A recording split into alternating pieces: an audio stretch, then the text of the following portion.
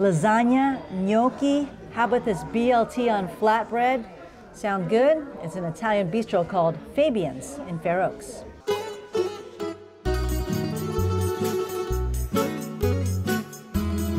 Some of the original recipes were inspired from our family, and that's where the whole concept for this restaurant began, was inspiration of sharing food that I grew up with eating.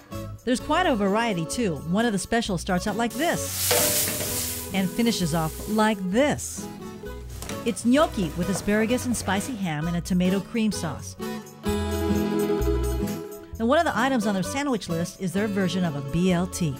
This is our BLT. It's on a flatbread with uh, melted cheese, our homemade tomato jam. Go on. Applewood smoked bacon, sweet chili aioli, and then we put on a little avocado, so it's really a BLTA. Turns out this is one of the more popular items sold at Fabian's. We sell a ton of these at lunch.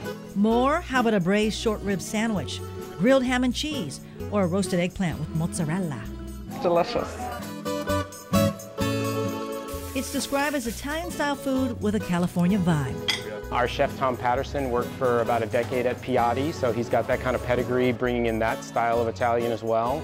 Owners Christian Forte and his wife Mercedes take the time to visit with customers. Love the place, love the people. I'm, I'm treated like family here.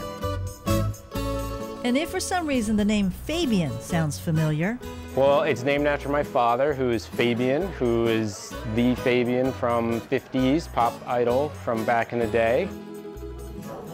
Fabian's Italian Bistro is open every day except Monday. Now they're open for lunch and dinner, and Sunday there's brunch.